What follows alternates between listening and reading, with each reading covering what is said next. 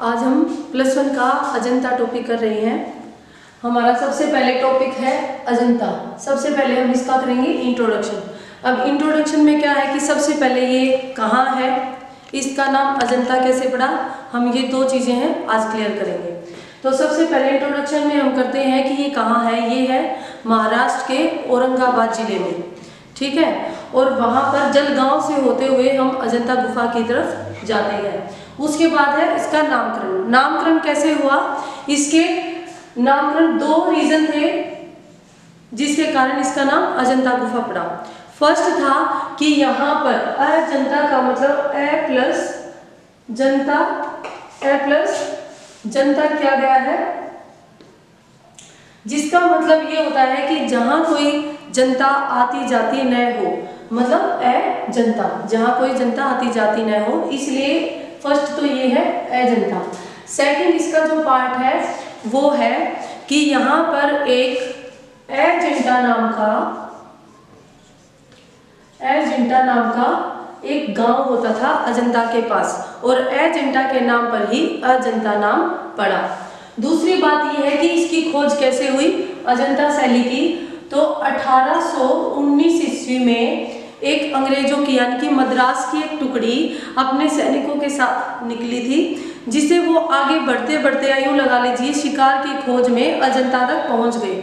और वहाँ जाके उन्होंने उस एरिया की सफ़ाई की और देखा वहाँ पर जो है मूर्तियाँ और चित्र बने हुए हैं, ऐसे अजंता की खोज हुई हमारा नेक्स्ट वीक है केव। अब बात आती है गुफाओं की कि इसमें कितनी गुफाएँ हैं।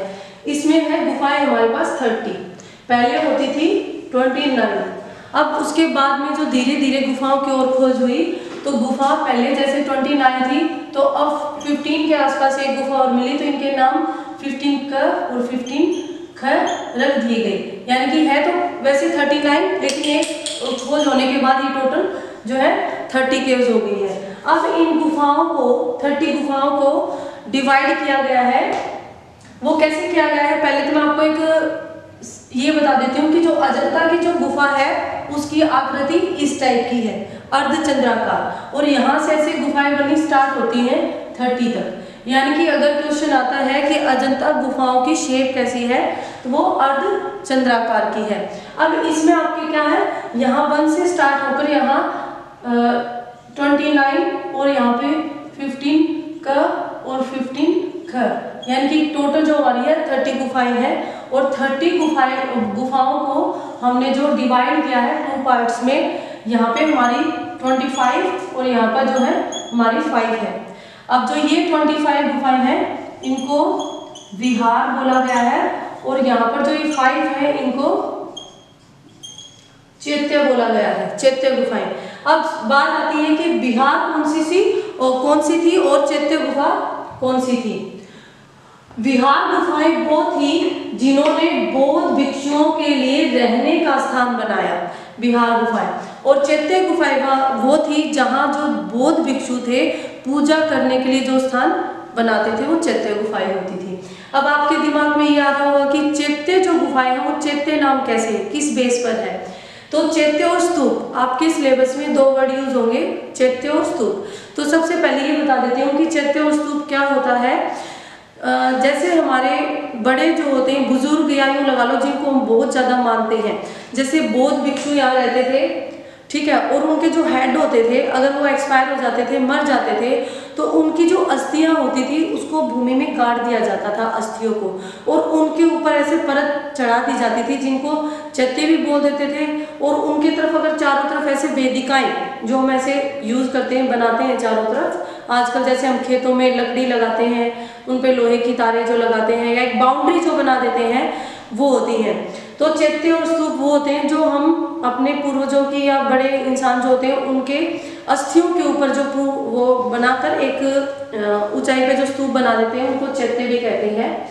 तो अब ये है कि चैत्य कौन कौन सी है और विहार कौन कौन सी है? जो हमारे पाँच चैत्य गुफाएँ थी, वो हमारे है नाइन, गुफा number nine, ten, nineteen, twenty six और ट्वेंटी नाइन। ये वो गुफाएँ हैं जिनको बौद्ध भिक्षुओं ने पूजा का स्थान बनाया था। और इसमें से जितनी बाकी जो बची हुई है, जैसे वन टू एट हो गई, ठीक है? फिर 11 टू 18 हो गई। यानी कि ऐसे जितनी गुफाएँ जो बाकी बची हैं, वो सारी विहार गुफाएँ होती हैं। उसके बाद हमारी आती है टेक्निक कि जो टेक्निक होती है, वो टेक्निक कौन सी है? पेंटिंग्स की। तो सबसे पहले तो ये बताऊँगी आप लोगों को कि जो टेक्निक होती है, इसमें दो तरह की टेक्निक यूज़ की है। एक होती है फ्रेस्को और एक होती है टेम्परा ठीक है? फ्रेस्को टेम्परा दोनों की दोनों दीवारों पर बनाए जाने वाला एक प्रोसेस है और दीवार पे जो पेंटिंग बनाई जाती है, उन्हीं को म्यूरल्स बोला जाता है। म्यूरल पेंटिंग ठीक है? भीति चित्र, जिसको हम बोलेंगे भीति चित्र बोला जाता है। अब फ्रेस्को टेम्परा में एक फ़र्क था। ज़्यादा से ज़्यादा, वैसे तो फ्रेस्को की बनी है अजंता में पेंटिंग लेकिन कहीं कहीं टेम्परेरा का भी यूज़ है। अब फ्रेस्को को भी हमने दो हिस्सों में डिवाइड किया है।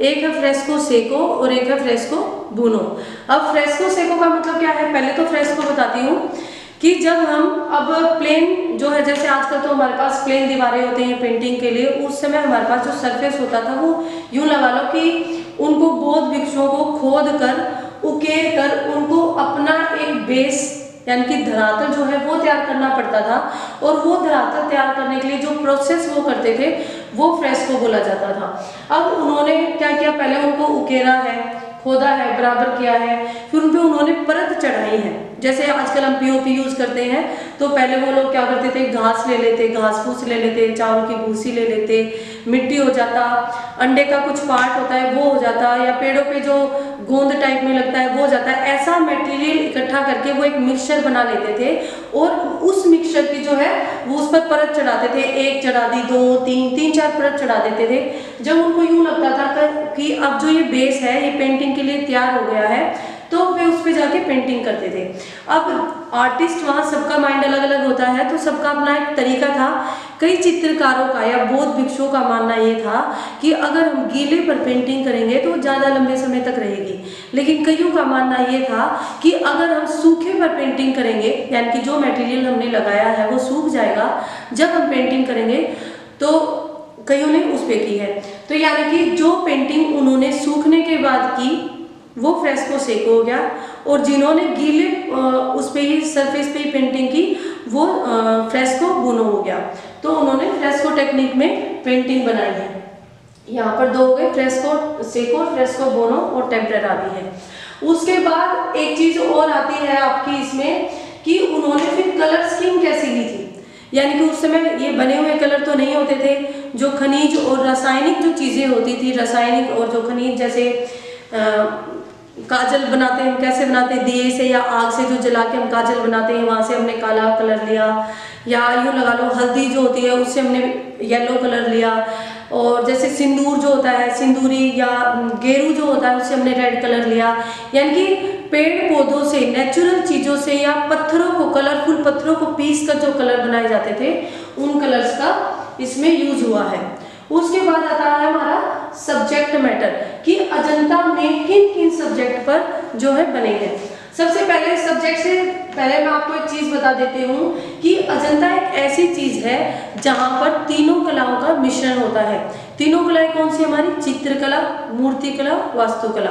यही एक गुफा है, अजंता गुफा है, जहाँ पर तीनों कलाओं का मिश्रण माना जाता है। यहाँ पर तीनों, यहाँ पे आपको मूर्तियाँ भी मिलेंगी, ठीक है? और यहाँ पे आपको बिल्डिंग्स भी मिलेंगी और यहाँ पे आपको चित्रकला भी मिलेगी। ये तीनों थे आपके।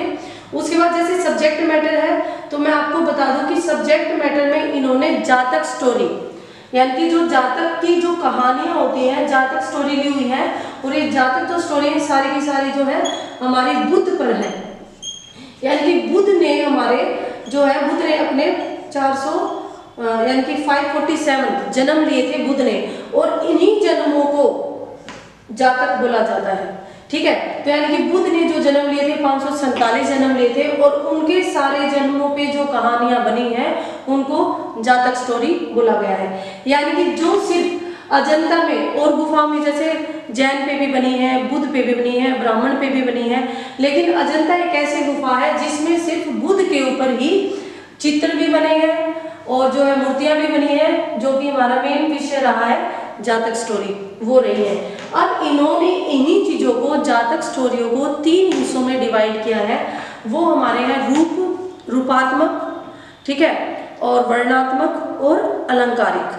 अब ये तीनों पार्ट कैसे हैं मैं आपको बताती हूँ। सबसे पहले अलंकारिक जो होता है, वो होता है डेकोरेटिव चीज़ें। जैसे हम कोई, ये हमारा सरफेस है, ठीक है अब अगर हम इसमें, जैसे हम एक स्टोरी सुनाते हैं, मान लो जैसे हमने वो कोवे वाली स्टोरी सुनी है कि यहाँ पे एक कौआ जो है प्यासा आ रहा है, फिर उसको एक मटका दिखाई देता है, दूसरी बार में उसमें कंकर डालता है, पानी ऊपर आता है, फिर वो पीता है और उड़ जाता है। ये स्टोरी जो हमने प्रोसेस में देखी है स्टेप बाय स्टेप अगर हम बुद्ध के जन्मों को ही ऐसे करके कुछ मतलब स्टोरी बनाते हैं कि यहाँ फिर पहले उसका जन्म हुआ है, फिर वो बड़ा हुआ है बढ़ते हुए पापा के साथ दिखाया, उसके पापा का जो फिर निकलना, उनका रोना, ऐसे जो मतलब बुद्ध का जन्म से लेकर अगर हम मृत्यु तक का जो प्रोसेस दिखाते हैं, वो हमारा होता है रूपात्मक रूपात्मक यानी कि पूरा उसकी सॉरी वर्णात्मक वर्णात्मक है ये, क्योंकि हमने एक चीज़ का वर्णन किया है। तो ये हमारा हो गया वर्णात्मक। वर्णात्मक। एक ही चीज़ को डिटेल में प्रोसेस से दिखाना, वर्णात्मक। उसके बाद हमारा आ गया रूपात्मक। और रूपात्मक में क्या है कि हम एक ही पिक्चर्स में आपको क्लियर समझा दे कि वो बोलना क्या क्या, चाहता है। जैसे कि हमारी अजंता के टॉपिक में है कि मरणासन राजकुमारी। गुफा नंबर 16 में है तो उसमें राजमा राजकुमारी को एक यूँ लगा लो कि मरने की ही अवस्था में दिखाया हुआ है। उसका जो कलर है वो येलो कलर दिखाया हुआ है। आसपास उसके जो है फ्रेंड्स वगैरह या परिवार के फैमिली मेंबर बैठे हुए हैं, उसकी सिचुएशन जो है बॉडी की एकदम डाउन दिखाई गई है कलर जो है एकदम फैट दिखाया गया है। यानी कि उसमें लग रहा है कि जो राजकुमारी है, वो मरने वाली है। एक सीन में सब क्लियर हो गया। उसके बाद दूसरी जो पेंटिंग दिखाई है, उसमें जैसे बूढ़ा इंसान है, वो ऐसे फिंगर को ऐसे ऊपर करके और ऐसे डंडा हाथ में लेके ऐसे जैसे किसी को समझा रहा है कि भाई समझ जाओ, नहीं तो कुछ बुरा होने वाला है। यानी कि एक ही पिक्चर में देखते ही पता लग जाए कि बंदा क्या बोलने वाला है, वो रूपा, रूपात्मक होती है। उसके बाद जब हम हम बोलते हैं बॉर्डर आर्ट में जो बॉर्डर बनाते हैं, हिंदी में बोलते हैं हास्य। जैसे हम ये चीज़ें हैं, और यहाँ हम कई बार फ्लैग कलर कर देते हैं कई बार इनको डेकोरेशन के लिए हम लीव्स बना दी, या कोई पक्षी बना दिया, कुछ भी कर दिया। यानी कि फूल पत्तियों से, पशु पक्षियों से हम किसी भी हिस्से को अगर सजाते हैं तो वो डेकोरेटिव हो जाता है, अलंकारिक हो जाता है। तो यानी कि जो हमारे सब्जेक्ट मैटर थे, वो अजंता में तीन रहे हैं। पहला हमारा हो गया वर्णात्मक ठीक है? दूसरा हो गया रूपात्मक और अलंकारिक। इसमें एक अलंकारिक में एक चीज़ हो रहा है, जो ये कोई भी मतलब पेंटिंग बनाते थे, चाहे वर्णात्मक हो, चाहे रूपात्मक हो, अगर उसमें पीछे स्पेस रह जाता है तो वहाँ भी वो डेकोरेटिव बना देते थे। ठीक है? तो ये तीनों इनके हो गए सब्जेक्ट क्लियर उसके बाद आती है इनकी विशेषताएँ। कि अजंता गुफा की विशेषताएँ क्या थी? विशेषता सबसे बड़ी विशेषता है इसमें लाइन ड्रॉइंग यानी कि रेखा। जो रेखा चित्रण है, यानी कि रेखा जो ड्राइंग है, वो हमारी इंडिया में फ़ेमस है। और सबसे बड़े रेखा के, यानी कि लाइन के जो एग्ज़ाम्पल है, हमारे अजंता में मिलते हैं। यानी कि इससे ज़्यादा स्मूथ लय में कोई भी आपको, किसी भी आर्ट में, किसी भी गुफा में आपको पेंटिंग नहीं मिलेंगी, जितनी अच्छी लाइन ड्राइंग हमारी अजंता में है।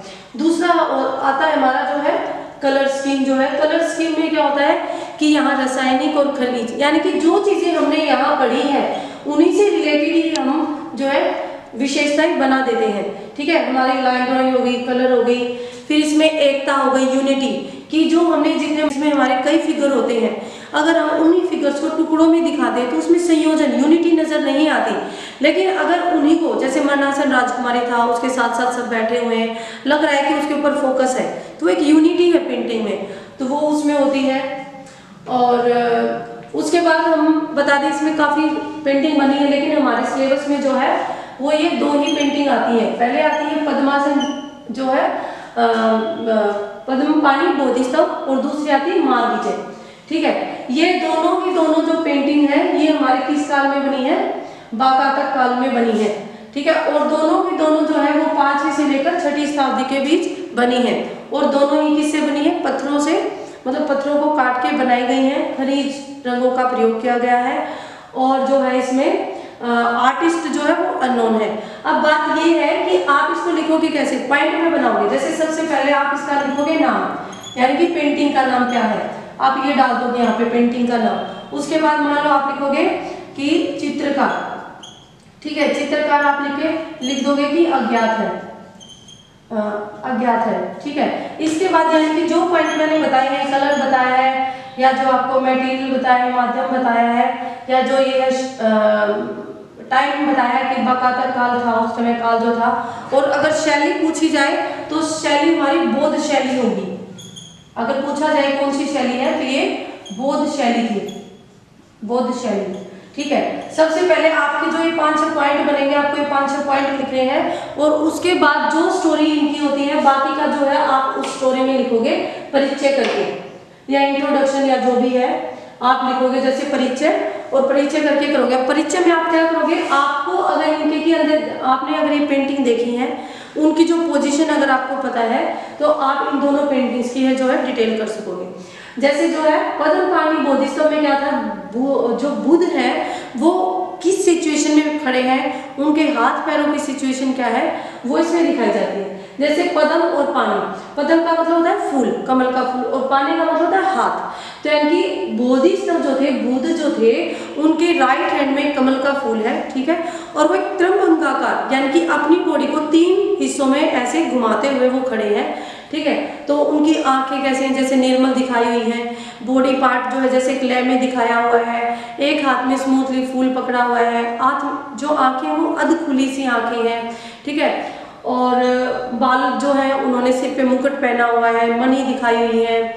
या यूँ लगा लो, गले में माला पहनी हुई है। उनके जो बॉडी स्ट्रक्चर है, वो कैसा है? कपड़े कैसे पहने हुए मतलब जो, जैसे वो खड़ा है, अगर वो आपको डिटेल याद है तो आप इसकी डिटेल कर दोगे। फिर सेकंड पार्ट में क्या है? मार विजय। मार विजय का मतलब यहाँ पे मार क्या होता है? मार विजय है, यानी कि जब बुद्ध तपस्या में बैठे थे तो उनकी तपस्या भंग करने के लिए कामदेव आए थे। और अपने साथ जैसे राक्षसों को भी लाए थे, देवताओं को भी लाए थे पशु पक्षियों को, सुंदरियों को कि किसी भी तरह से जो है बुद्ध की तपस्या भंग हो जाए। लेकिन वो कोई भी बुद्ध की तपस्या भंग नहीं कर पाए थे और उन्हीं चीज़ों पर, सब पर विजय प्राप्त जो उन्होंने की थी, उसी के नाम पर माँ विजय इस पेंटिंग का नाम पड़ा था।